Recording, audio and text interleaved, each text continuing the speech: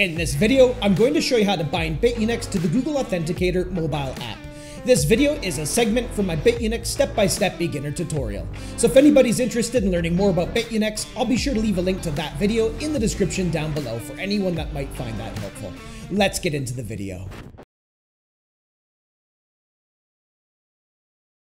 It's always a good idea to add an extra layer of security to your account, such as Google Authenticator.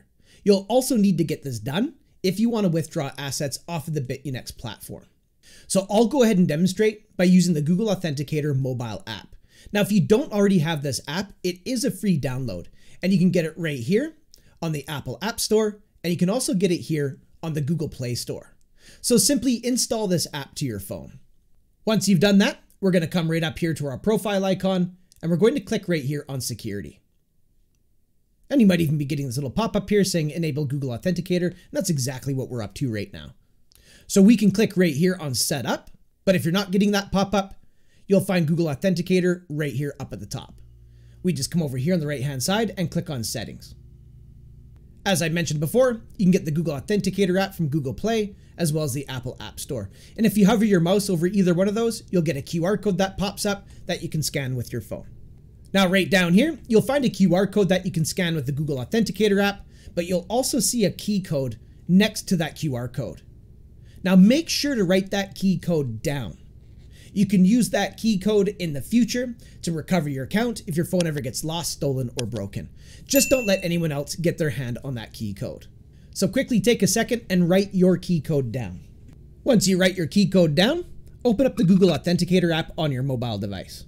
Inside the Google Authenticator app, bottom right hand side, you'll see a little plus sign. Tap on that. Then you'll see two options, scan a QR code or enter a setup key. The easiest way is to scan a QR code, so we'll tap on that. Then simply hold your phone up to your screen and scan your QR code. And that's going to bind BitUnix to Google Authenticator. Now, for whatever reason, if you can't scan a QR code, you just tap on enter a setup key. Then you give your account a name, so call it BitUnix and then manually type in that key code that you can see beside your QR code. Once you've done that, you tap on add and you'll have bound BitUnix to Google Authenticator. Then we need to come down here and enter and verify the Google verification code that's found inside your Google Authenticator app. It's that six digit number next to the BitUnix account that you added to Google Authenticator. So simply type that in, then click on submit.